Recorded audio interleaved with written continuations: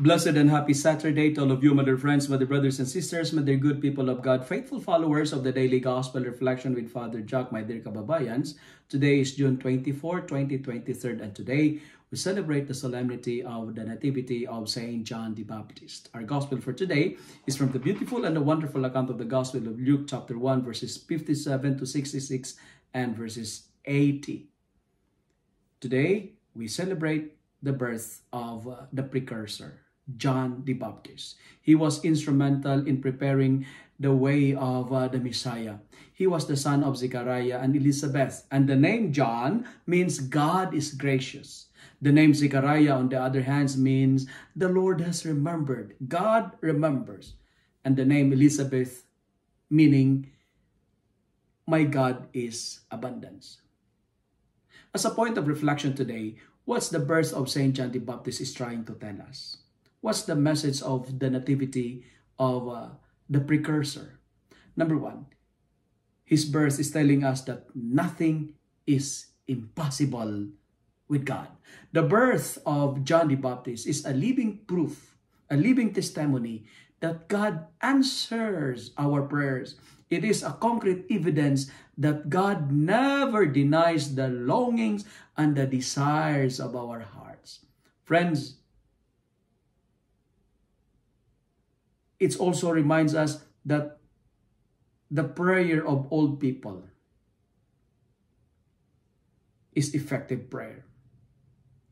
Zechariah and Elizabeth, they were old, but God loves old people.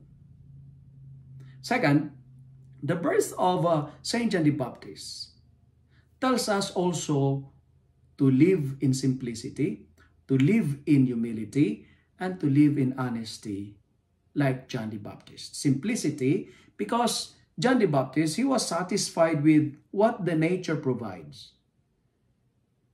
Humility because he decreased and give way to the Lord and he said, I must decrease, he must increase. And honesty because he never tolerates immorality. And John the Baptist, his birth, is reminds us of our mission. And what is our mission? Like John the Baptist, we have to point people to God, to bring people to God, not to ourselves, to prepare the way of the Lord, and to teach people the knowledge of salvation. Let me end my reflection with three R. R, R, R.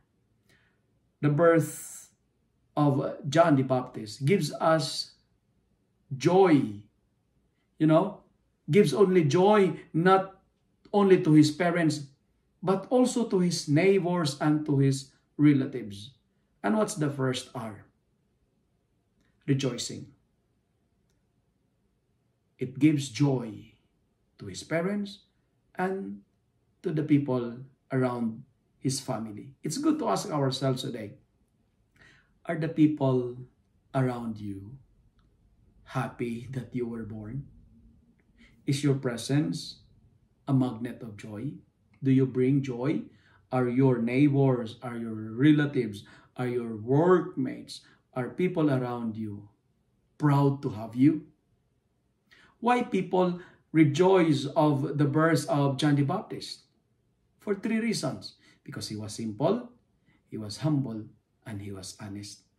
If you are simple, if you are humble, and if you are honest, you will always be the source of joy. And second R, it tells us of uh, the purpose of uh, his birth. Why do you think you exist? Why are you here? And the second R stands for reason of your birth. For John, the reason for his birth, his mission, is to prepare the way of the Lord. That's why I keep on telling that he is the precursor.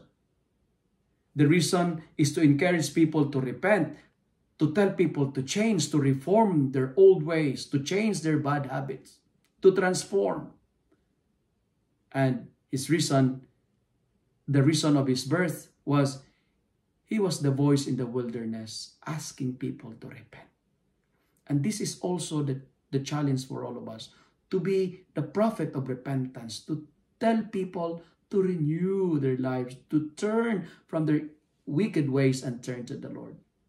And finally, the final art, the final R, his birth was the greatest reward to his parents. His birth was a reward, a gift to his old parents. Because having a child is a greatest gift from God. Having a child is a greatest blessing from on high. Friends, protect your child because all of us are wonderfully made by God.